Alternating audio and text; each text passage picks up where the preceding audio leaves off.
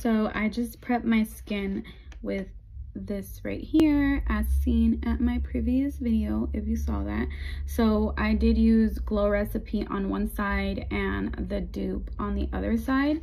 So the only thing that i used that was different was the moisturizer because i don't have the glow recipe moisturizer but um let's see what the finished look it's gonna be so this side is my side is um the dollar tree one so I'm to go ahead and do my makeup all the same and see if um, it helps my skin out, if it's the same, you know?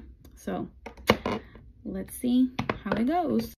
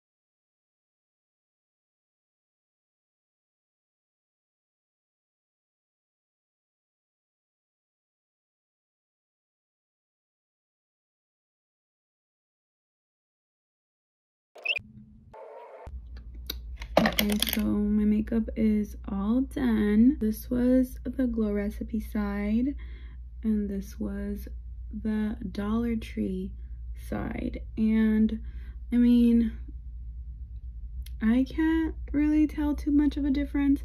Don't really feel a difference. Say, give it a try if you don't want to spend Glow Recipe money.